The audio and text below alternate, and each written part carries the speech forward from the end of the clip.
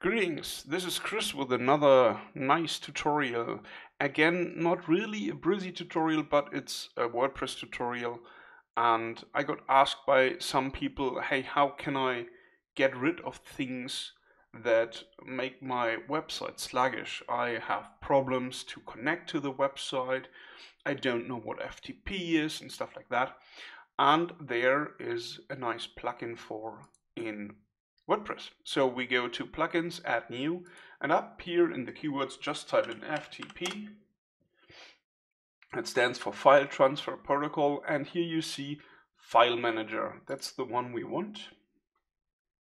So we're installing it, activating it, and you see it here on the bottom. We have now FTP File Manager. just click it and there you see this is now our file structure for um, our website. So here you see we have our instant images. This is currently empty. Uh, we have here all images created by Brizy.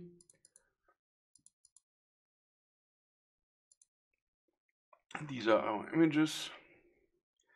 And you have, of course, all the uploads we did so if you want to get rid of all of them, for example, you just mark them all and hit the red X for delete.